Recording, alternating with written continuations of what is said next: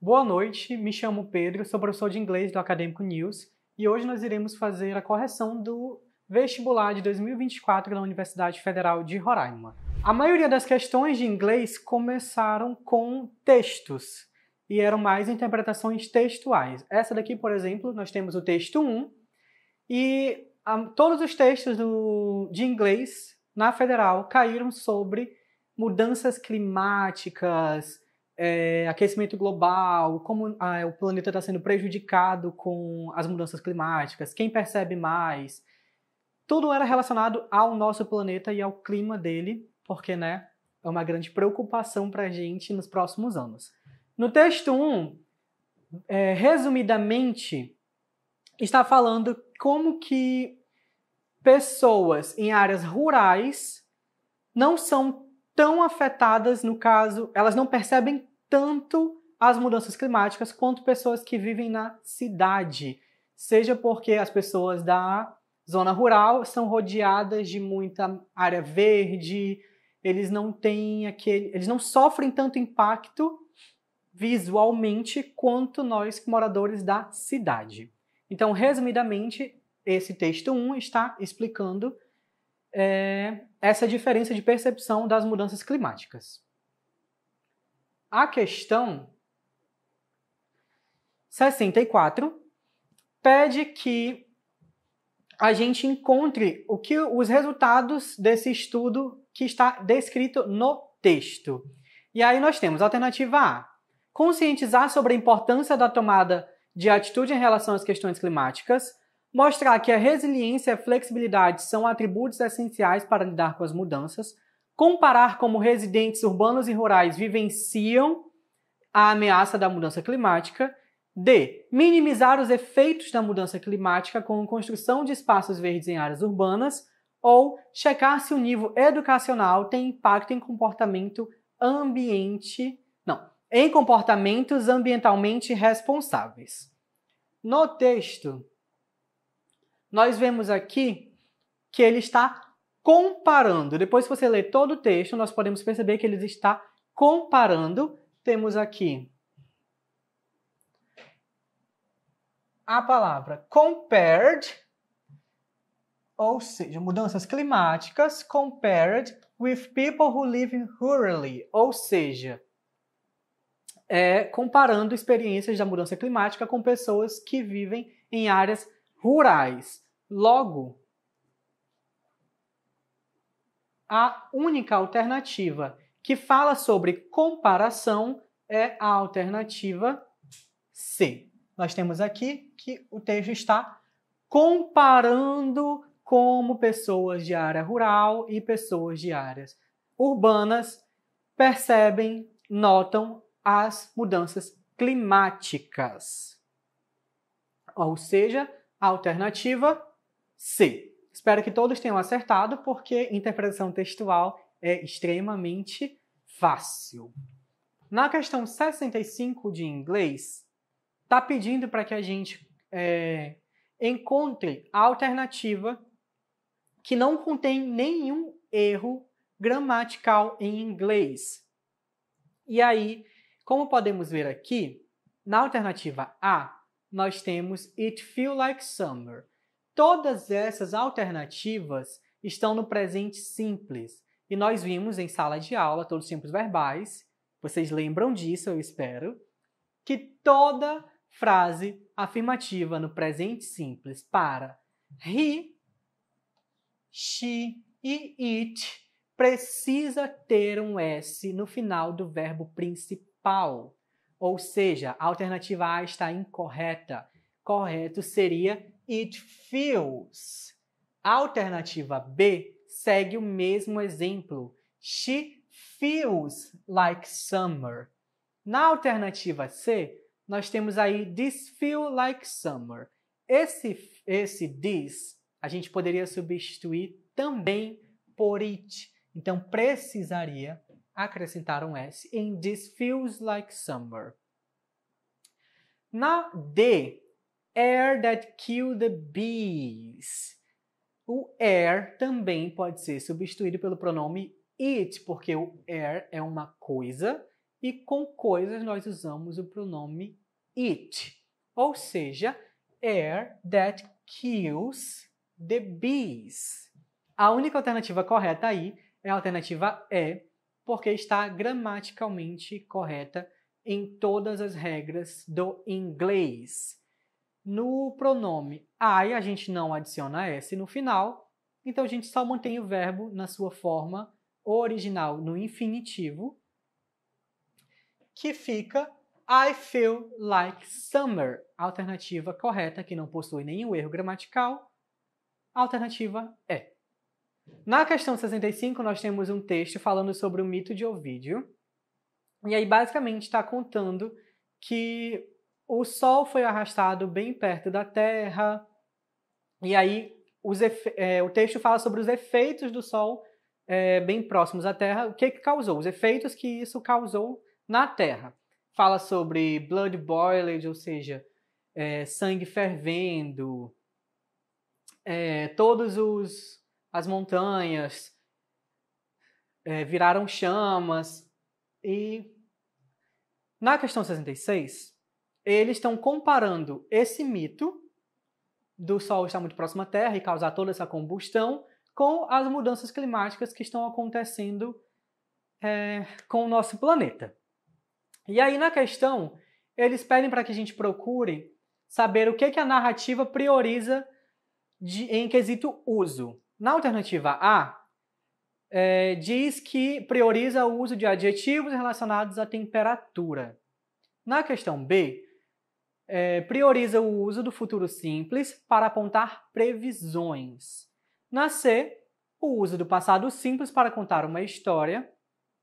Na D, do presente simples para indicar frequência e na E de países para marcar seu caráter universal.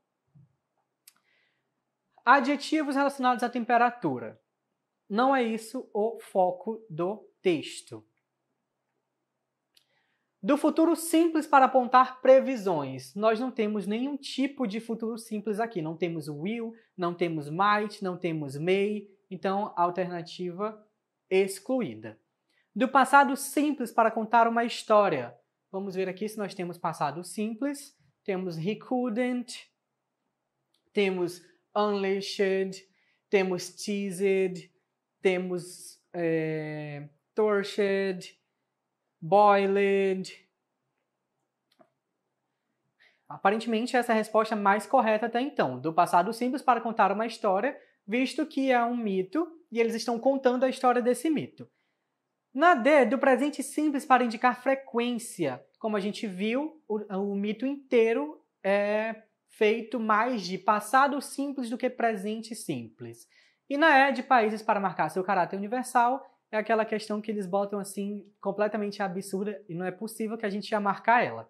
Então podemos ver que na questão 66, a alternativa correta é a alternativa C, por se tratar do passado simples para contar uma história. O mito todo foi contado usando o passado simples e a gente consegue saber que é o passado simples porque os verbos principais terminam com ed. A gente viu muito isso nas nossas aulas, que todo verbo regular no passado, não importa qual o tempo verbal do passado, termina com ed. Então nós temos aqui vários verbos no passado terminados com ed. Como a gente sabe que é passado simples e não passado perfeito ou presente perfeito? Porque antes dos verbos não tem nenhum dos auxiliares had ou have. Se não tem had antes do verbo ou have, é passado simples. Se tivesse had, passado perfeito se tivesse o have presente perfeito. Texto 3 relacionado à questão 67. E aí o texto está falando sobre o net zero. O que, que é o net zero? Put simply, net zero means cutting greenhouse gas emission to as close to zero as possible. Ou seja, diminuir para o mais próximo de zero possível as emissões de gás na nossa camada de ozônio. E aí, o texto inteiro está falando de como nós podemos reduzir essa emissão de gases. Na questão 67, relacionada ao texto, eles querem que a gente assinale a alternativa que evidencia duas propostas que contribuem com essa promoção, que contribuem para que a gente pare de emitir tanto gás na camada de ozônio. Na alternativa A, está dizendo que a primeira proposta está relacionada com a criação de um grupo de peritos para desenvolver diversos critérios com variados níveis de robustez quanto ao compromisso de emissões zero. A segunda proposta se refere à busca pelo caminho certo para atingir a meta de emissão zero até 2050. Poderia aí ser uma questão para a gente deixar ela em aberto. Na B, a primeira proposta para a redução desses gases seria a substituição das atuais fontes poluentes e geradoras de energia por fontes renováveis, como a eólica e a solar. A segunda seria a criação de padrões mais claros e consistentes para o cumprimento dos compromissos de emissão zero por parte de entidades não estatais. E aí essa aí já ficou um pouco melhor. Na C, é importante que haja uma redução de quase metade das emissões até o ano de 2030 e que elas não ocorram a partir de 2050. Mas aí a gente já viu que essa questão ela não tem proposta nenhuma, ela só está esperando que aconteça essa redução. E a questão está pedindo para que a gente assinale, assinale a alternativa que evidencia as propostas que o texto nos trouxe. A gente vai já voltar para o texto. Na D, a primeira proposta destaca a importância da emissão zero, pois, para evitar impactos de alterações climáticas e preservar um planeta habitável, o aumento da temperatura global precisa ser limitado a 1,5 graus Celsius, tal como exigido no Acordo de Paris. A segunda proposta sinaliza o comprometimento de diversas e inúmeras instituições que aderiram à corrida pelo, pelo zero, visando a adoção de med medidas rigorosas e imediatas para a redução pela metade das emissões globais até o ano de 2030. Na E, o texto aponta que há uma elevação de cerca de um grau na temperatura da Terra nos dias de hoje, o que já denota aumento em relação ao século XIX, e essas emissões ainda continuam a subir. O texto também menciona que uma das formas de se alcançar a emissão zero exige uma total mudança na forma como vivemos hoje. Vamos ver aqui como a gente vai voltar para o texto. No texto, explica como que a gente consegue atingir, achieved, esse zero de emissão de gases. Uh, tá. Logo no começo, a gente vê que ele está falando sobre o setor de energia e está falando que o setor de energia é um dos principais causadores de gases na camada de ozônio. E aí está dizendo que a gente precisa é, mudar o nosso meio de produção de energia para uma forma menos poluente. Qual é a alternativa que está falando sobre mudar as nossas fontes de energia para fontes renováveis.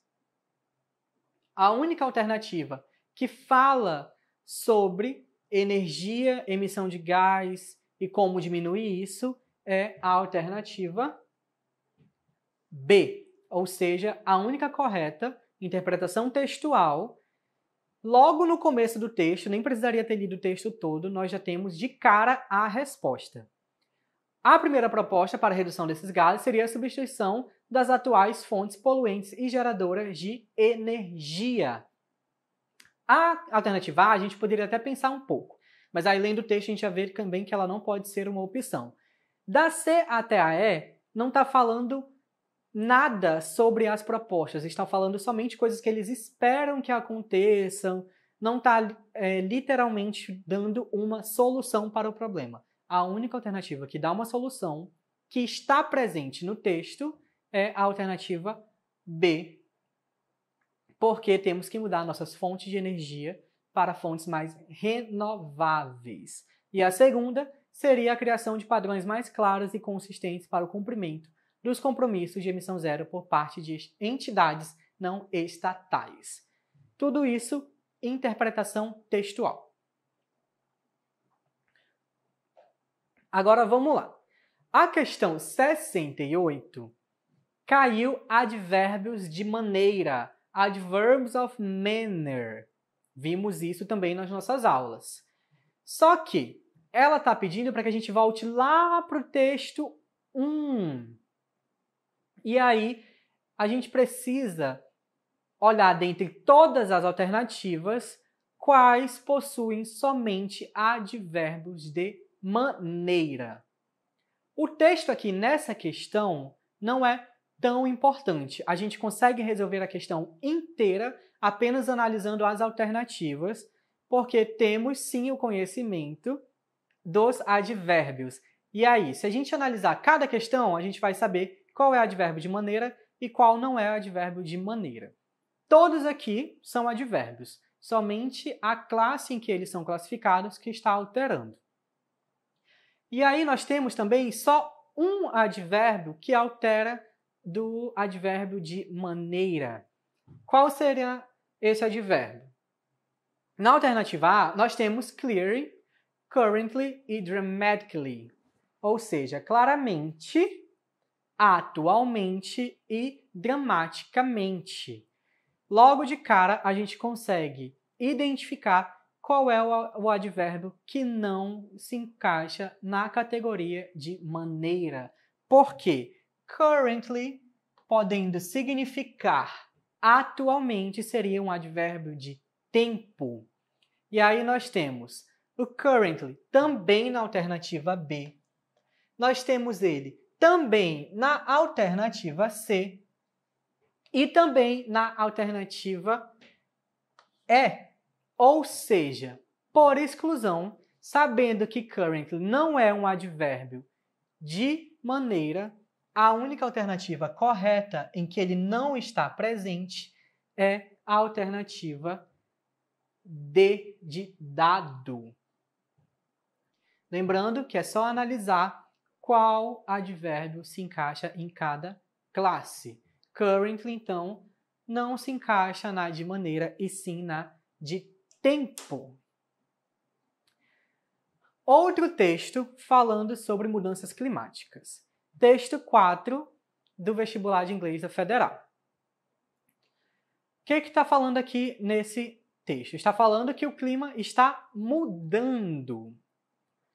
E aí, no texto, resumidamente, ele está falando que nos últimos 200 anos, a, o comportamento humano está ajudando, influenciando muito nas mudanças climáticas. Ou seja, nós seres humanos estamos aumentando o buraco na camada de ozônio, nós estamos aumentando o nível de CO2 na atmosfera. Tudo isso é o que está dizendo no texto. E aí o texto diz também what to do que, que a gente precisa fazer pra, por causa é, nessas mudanças, né? Build sturdy cities and house, build resilience, improve water management to deal with droughts, educate, make plans. Lá embaixo está pedindo para que todas as nações trabalhem juntos para a gente se adaptar às mudanças climáticas e os impactos para os benefícios de todos, das pessoas em todos os lugares. Na questão 69, nós temos um texto falando sobre as mudanças climáticas e falando que há 200 anos atrás o comportamento humano começou a influenciar muito nas nossas mudanças climáticas, que o homem está tendo uma ação e um papel mais importante nessas mudanças, não um papel bom, um papel ruim nas mudanças climáticas. E aí o texto está falando sobre é, um programa SDG 13, que é o Sustainable Development Goal. E a meta desse programa é tomar ações urgentes contra as mudanças climáticas, para combater as mudanças climáticas e os impactos causados por elas.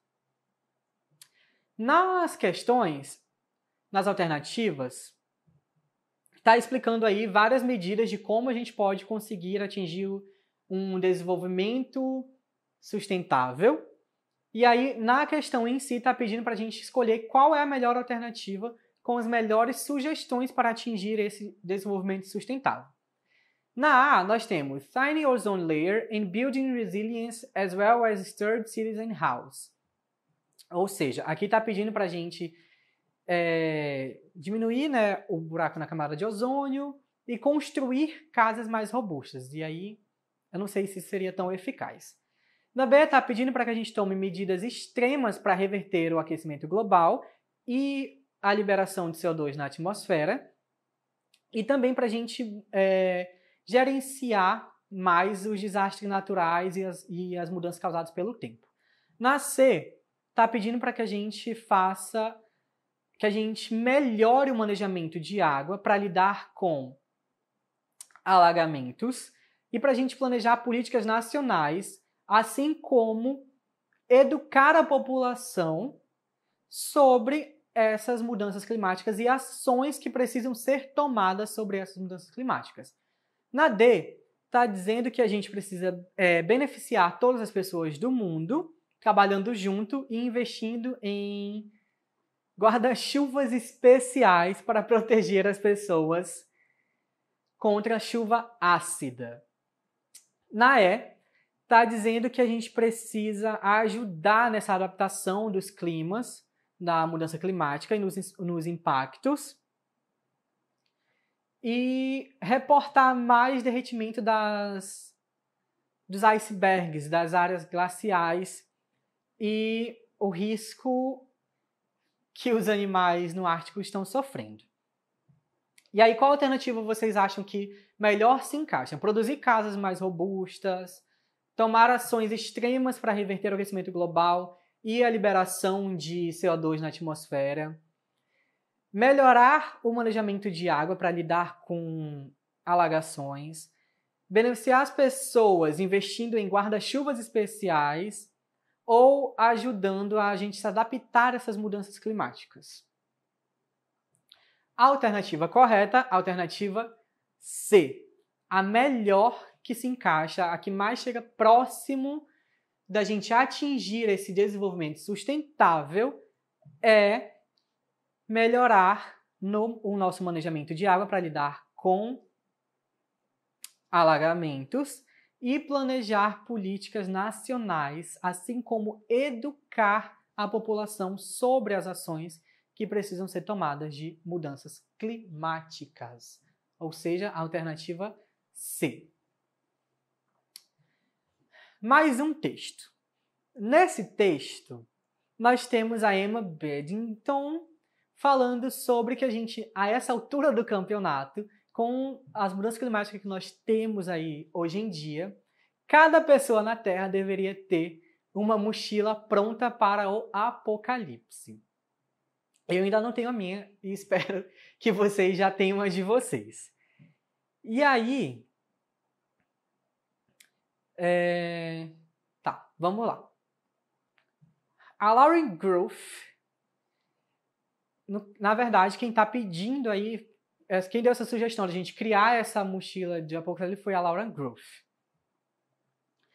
A questão 70 de inglês está pedindo para que a gente considere o seguinte trecho do texto.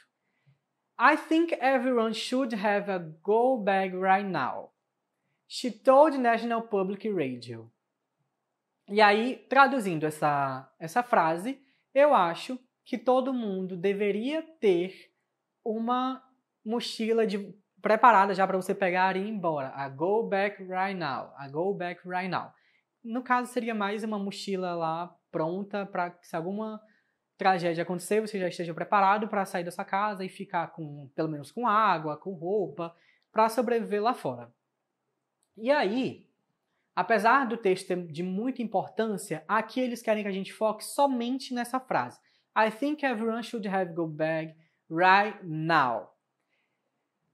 Um assunto que a gente viu bastante nas nossas aulas é o discurso indireto, voz passiva, voz ativa. E aí está pedindo que a gente transforme essa frase I think everyone should have a go bag right now para um discurso indireto. Lembrando que discurso indireto é quando o sujeito deixa de executar essa ação e ele passa a sofrer ela, ou seja, o objeto aí faz o papel dele de sujeito. Eles trocam de lugar. O sujeito deixa de praticar a ação e aí ele recebe essa ação ao invés de praticá-la. Nas alternativas, na frase em si, na verdade, nós temos I think everyone should have a go bag right now. Should have. Qual seria esse tempo verbal? Should have, nós sabemos e vimos também nas nossas aulas que o presente perfeito sempre acompanha o have. Mas aí, qual tempo verbal vocês acham que é? I think everyone should have a go bag right now. I think, eu acho. Aí temos o presente simples. Should have a go bag right now. A gente tem uma mistura aí de presente perfeito. Vamos olhar as alternativas para saber como é que a gente transforma isso para o discurso direto. Indireto. She thought everyone should have a go bag right then. B. She thinks everyone should have a go bag right now. She thought they should have had a go bag then. She thinks everyone could have had a go bag right now. I thought everyone should have a go bag then. Vamos olhar a alternativa correta para que a gente possa explicar por que, que ela é correta. Vamos lá.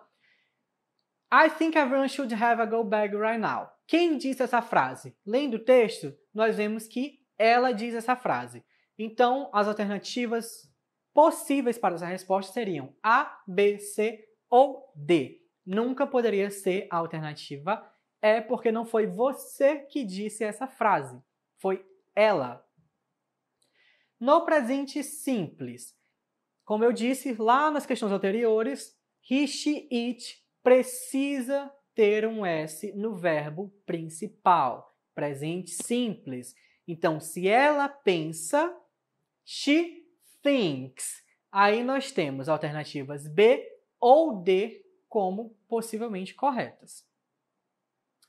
Everyone should have a go bag right now. Ou seja, a única coisa que você vai mudar é o tempo verbal inicial do sujeito. Nesse caso, ela falou essa frase, então a gente bota she. Não poderia ser a alternativa de, porque o modal verb usado na frase principal é o should, ele não pode ser alterado, você não pode colocar outro modal verb lá vindo da sua cabeça, jamais. Se na frase tem o should, você vai manter o should. Excluindo aí a alternativa, justamente por causa do modal verb usado, a alternativa B é a única correta, porque manteve o modelo principal da alternativa na voz ativa.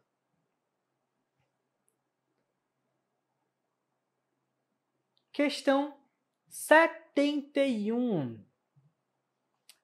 Uh, considering the section of the newspaper in which the test was published, the contemporary discussions about global heating and other climate disorder, as, uh, as well as your previous knowledge on the team, mark the alternative that best represents the tone the author implemented in her article. Ou seja, de acordo com o texto anterior, nós temos que analisar que tom ela usou para escrever e publicar esse texto e falar sobre as mudanças climáticas. Nas alternativas, nós temos na A que ela escolheu usar a ironia para falar sobre o tema, que é climate crisis, ou seja, problemas climáticos. E aí está dizendo que because she does not believe that is a serious is as serious as people insist on saying, ou seja, ela usou a ironia porque ela acha que não é tão sério quanto as pessoas costumam dizer.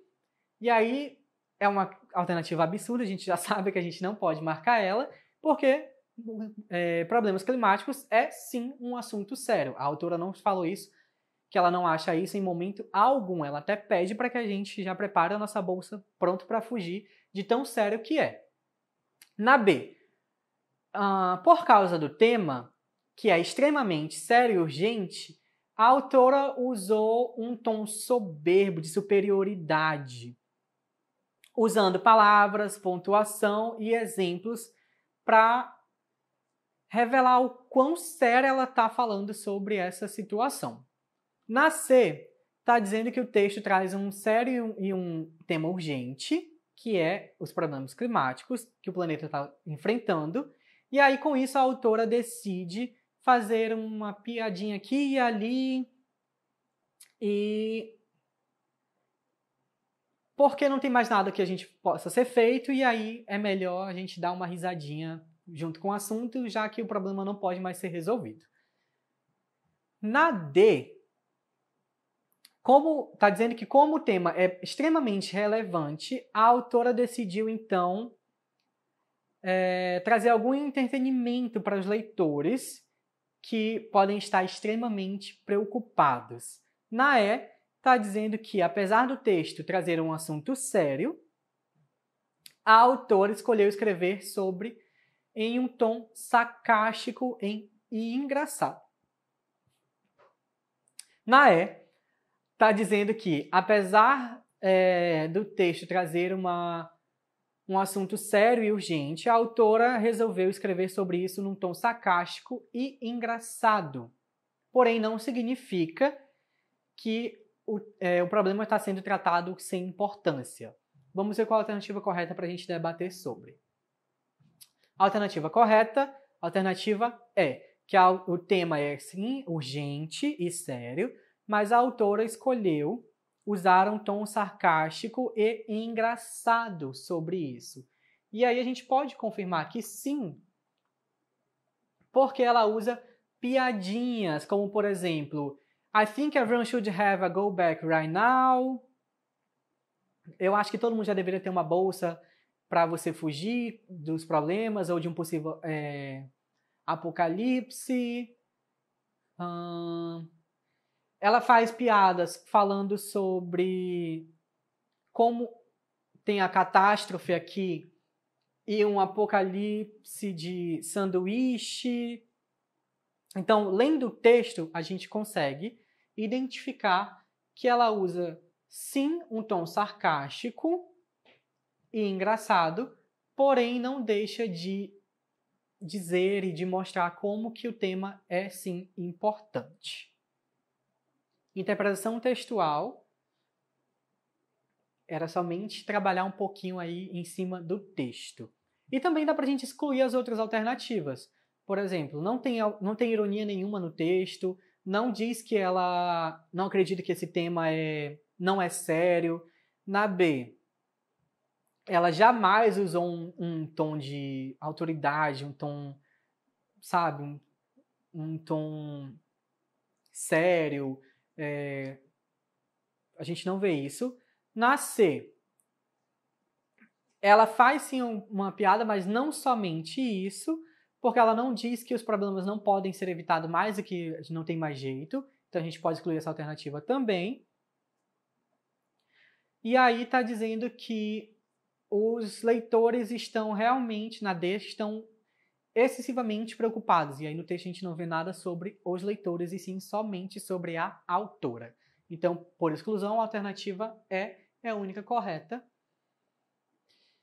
E aí temos o último texto e a última questão do vestibular de inglês da Federal. No texto 6, eles trouxeram a música do Michael Jackson, The Earth Song, que é uma música que ele fez sobre a Terra e ficou bastante famosa na época. E aí, é isso que diz também na alternativa, que foi um grande sucesso em 1995 e fez as pessoas refletirem sobre a necessidade de serem responsáveis em relação ao planeta. E aí nós temos dois versos. Primeiro, that you said we were to gain. Segundo, that you said was yours and mine. E aí, o que, que a gente precisa fazer nessa alternativa? Esses dois textos, esses dois versos, na verdade, é, são exemplos de reported speech, ou seja, aquilo que a gente estudou e eu falei para vocês que era uma fofoca, que é sempre você contando o que alguém falou, ou seja, fofoca.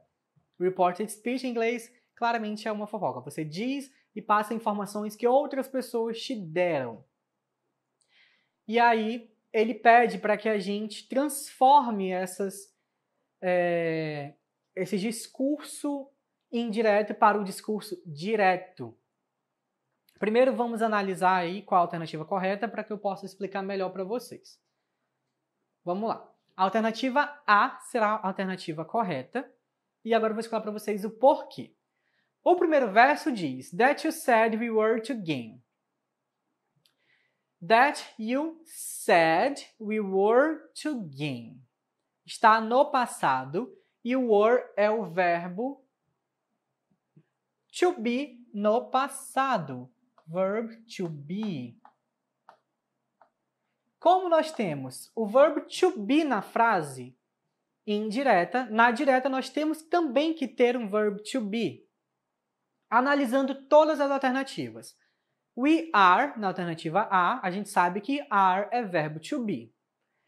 We gained, na alternativa B, não contém verbo to be, então a gente já pode automaticamente excluir essa alternativa. Na C, they are, ok, a gente tem o verbo to be. Na D, nós não temos o verbo to be, então a gente também já pode excluir essa alternativa. Na E, nós temos o verbo to be, então a gente mantém ela. Que mais que a gente tem para analisar? You said we were to gain. O pronome aí é o we, nós. Na alternativa C, que C e E que restaram, lembrem disso. Na alternativa C, o pronome é they, então a gente já pode excluir ela. Jamais vamos alterar o pronome, a gente mantém a estrutura básica de toda a frase e só vai alterando pequenas coisas. O verbo to be está no passado, a gente bota no presente. O pronome a gente mantém, não vai alterar. O verbo a gente também não altera, gain. A gente mantém ele. Então vamos lá, já excluímos a alternativa B, já excluímos a alternativa C, já excluímos a alternativa D. A gente vê que na A e na E, a primeira está exatamente igual. Na A nós temos we are to gain many things e a E nós temos we're going to gain many things. Então a gente tem que ir para próxima, para o próximo verso para a gente poder analisar qual deles é o correto. That you said, ou seja, that you said uh, was yours and mine. E aí aqui a gente está falando sobre, vamos voltar ali para o texto, o que que é meu e seu. Um, what about yesterday? Aqui, ou seja, nós estamos falando que os sonhos são meus e seus lendo o texto, a gente está vendo que ele está falando What about all the dreams that you said was yours and mine? Ou seja, e, e sobre os sonhos que você falou que eram meus e seus? Vamos lá para as alternativas de novo. A gente sabe que a alternativa A é a correta. E aí nós temos que ver o que está faltando aí, o que, que difere a A da E that you said was yours and mine. Ou seja, quais são os pronomes aí? Yours and mine. Na alternativa é, a gente vê que ele usa yours and me, o que não faz sentido nenhum, está completamente errado. Porque, primeiro, que a gente não usaria o me nessa situação. Segundo, que a gente não pode alterar o pronome da frase principal. E aí aqui diz: Você disse que esses sonhos eram meus e seus. E aí, transformando do reported speech para um discurso mais direto, a gente marca que esses sonhos são seus e são meus e seus. Ou seja, alternativa A é a alternativa correta, porque as outras estão ou com erros gramaticais, na verdade todas estão com erros gramaticais. Nenhuma dessas poderiam ser a correta. We gained many things mudou para o passado simples, impossível. Se estão falando de que ela disse que esses sonhos são meus e seus. Na, na C, então não diz nada em nenhuma parte da música que esse sonho pertence a nós. Muito menos o pronome they, porque estamos falando de we. Na D, novamente repete o pronome they e não pode. E na E, o erro está aqui no uso dos pronomes no final da frase. É isso, gente. Analisamos todas as questões de inglês de vestibular. Espero que tenham gabaritado todas, porque caíram assuntos que nós vimos.